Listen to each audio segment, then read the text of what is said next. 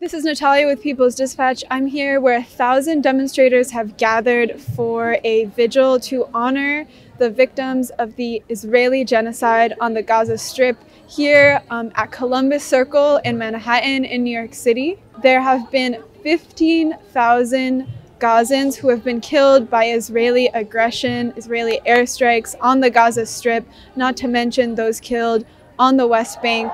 Um, this is a vigil honoring those victims of genocide, doctors, journalists, women, children, Gazans, Palestinians of all stripes um, who have been murdered in this war. Free, free Palestine! Free, free Palestine! Free, free, free Palestine!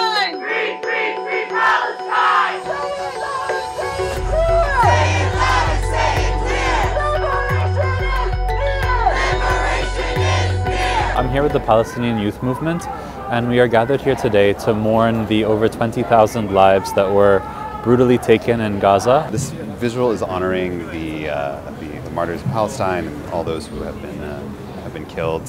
Um, but not just that, the, it's also honoring the, uh, the three students that were injured in Vermont. Um, who were just shot for being Palestinian and for being vocal about their identities.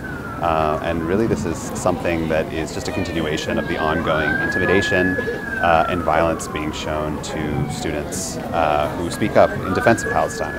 I'm here tonight to show my unwavering support for the Palestinian people.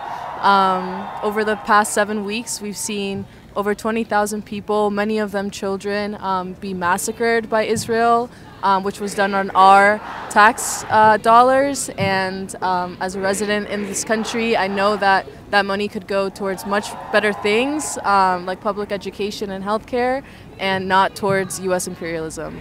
I'm here today to uh, mourn and to honor our martyrs in Gaza over the past month and a half. Um, we lost over uh, 20,000 martyrs in Gaza uh, to a brutal campaign of bombing at the hands of uh, the Israeli occupation. Um, and we're here to honor them, we're here to mourn together, uh, we're here to, through our mourning, uh, revive the momentum for the movement for Palestine and continue uh, to hold um, you know, the momentum by being together and being present with both the violence that our people are enduring in Gaza and honoring their resistance and honoring um, their lives and being present um, with their lives and remembering that uh, the story of Gaza and what we've seen unfold over the past month is the story of Palestine, is the story of the entirety of Palestine. It's a story of displacement, uh, occupation, um, and, uh, and, and, and resistance and martyrdom. And we're here to honor that together. Our movement is growing stronger by the day, and the people of the world are rising up, taking to the streets, blocking the roads, holding their schools and institutions accountable.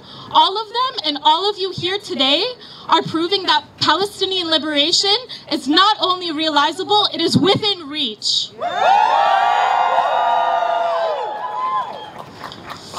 So we won't stop, not until there's a permanent ceasefire, not until every single one of our prisoners have been released, until the siege and the blockade of Gaza have been ended, until we sever the ties between America and Israel, and not until Palestine is free, from the river to the sea.